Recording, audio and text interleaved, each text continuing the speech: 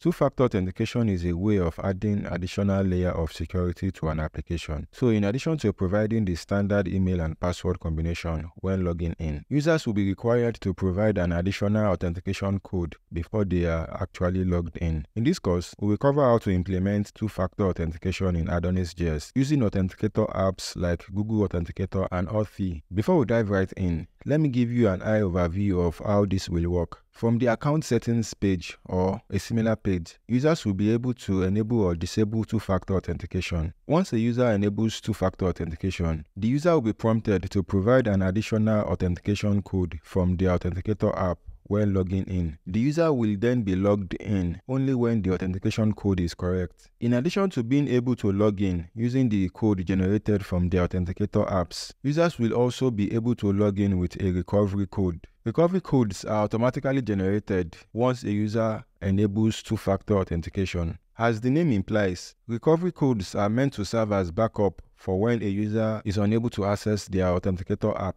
Recovery codes are a kind of one-time passwords such that once used, they can't be reused. In fact, once a recovery code has been used, it will be deleted from the list of recovery codes. Also, users will be able to regenerate their recovery codes in case they lost their existing ones or need to regenerate new ones because they have exhausted their existing recovery codes. Of course, once two-factor authentication is disabled, users won't be required to provide an additional code and they can simply log in with just their email and password.